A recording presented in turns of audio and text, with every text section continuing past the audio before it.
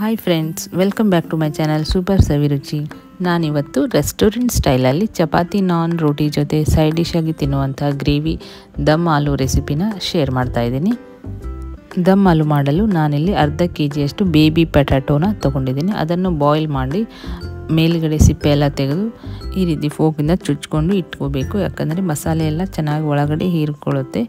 ಆಮೇಲೆ ಇಲ್ಲಿ ನಾನು ಗ್ರೇವಿ ಸಲುವಾಗ ಒಂದು ನಾಲ್ಕೈದು ಕ್ಯಾಶು ಮತ್ತು ಒಂದು ನಾಲ್ಕೈದು ಬ್ಯಾಡಗಿ ಮೆಣಸಿನ್ಕಾಯಿನ ತೊಗೊಂಡಿದ್ದೀನಿ. ಅದನ್ನು ನೀರಲ್ಲಿ ಹಾಕಿ ಒಂದು ಅರ್ಧ ಗಂಟೆ ನೆನೆ ಹಾಕಬೇಕು.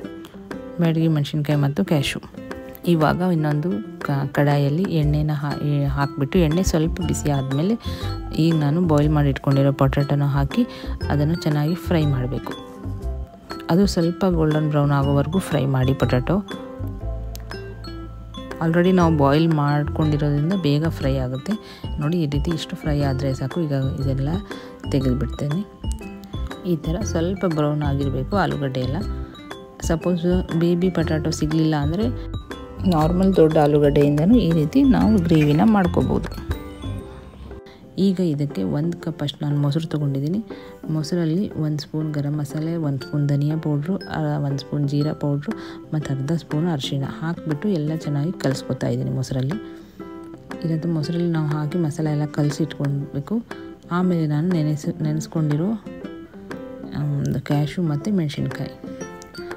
ಅದನ್ನು ಹಾಕಿ ಒಂದೆರಡು ಟೊಮೊಟೊ ಹಾಕಿ ಅದ್ರ ಜೊತೆನೇ ಮಿಕ್ಸಿಯಲ್ಲಿ ಗ್ರೈಂಡ್ ಮಾಡ್ಕೋಬೇಕು.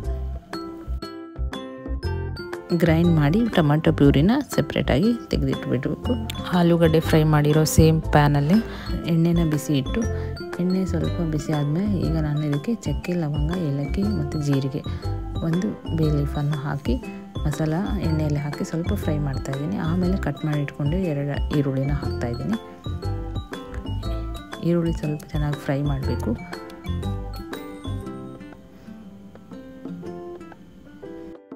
ಚೆನ್ನಾಗಿ ಫ್ರೈ ಆದಮೇಲೆ ಈಗ ಇದಕ್ಕೆ ನಾನು ಕಲಿಸ್ಕೊಂಡಿರೋ ಮೊಸರು ಹಾಕ್ತಾಯಿದ್ದೀನಿ ಮಸಾಲೆ ಎಲ್ಲ ಪುಡಿ ಕಲಸಿರೋ ಮೊಸರು.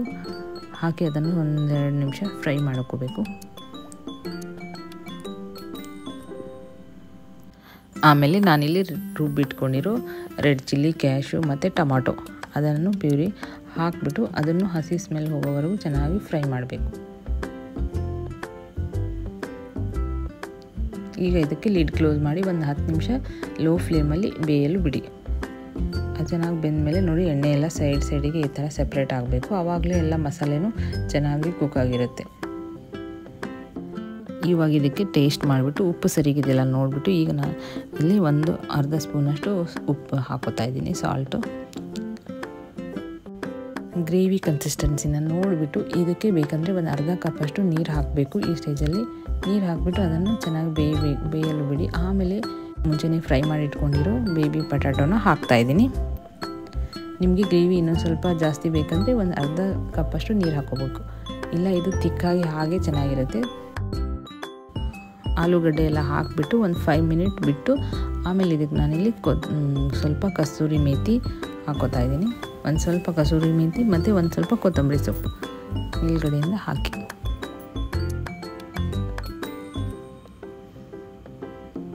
ನೋಡಿ ಈ ಥರ ಸೈಡ್ ಸೈಡಿಗೆಲ್ಲ ಎಣ್ಣೆ ಬಿಟ್ಕೋಬೇಕು. ಆವಾಗಲೇ ಇದು ಗ್ರೇವಿ ಕರೆಕ್ಟಾಗಿ ಆಗಿದೆ ಅಂತ ಅರ್ಥ.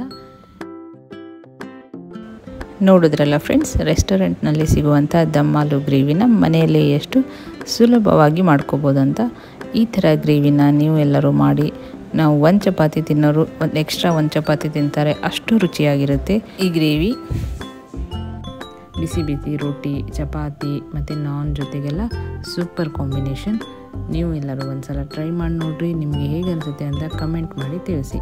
ನನ್ನ ರೆಸಿಪಿನ ನಿಮಗೆ ಇಷ್ಟ ಆಗಿದೆ ಅಂದರೆ ಪ್ಲೀಸ್ ನನ್ನ ಚಾನಲ್ಗೆ ಸಬ್ಸ್ಕ್ರೈಬ್ ಮಾಡೋದನ್ನು ಮರಿಬೇಡಿ. ಮತ್ತು ಹಾಗೆ ನನ್ನ ರೆಸಿಪಿನ ನಿಮ್ಮ ಫ್ಯಾಮಿಲಿ ಫ್ರೆಂಡ್ ಜೊತೆ ಶೇರ್ ಮಾಡಿ. ಇನ್ನೊಂದು ರೆಸಿಪಿಯೊಂದಿಗೆ ಮತ್ತೆ ಸಿಗ್ತೀನಿ. ಅಲ್ಲಿವರೆಗೂ ಧನ್ಯವಾದಗಳು. Thank you. Thank you for watching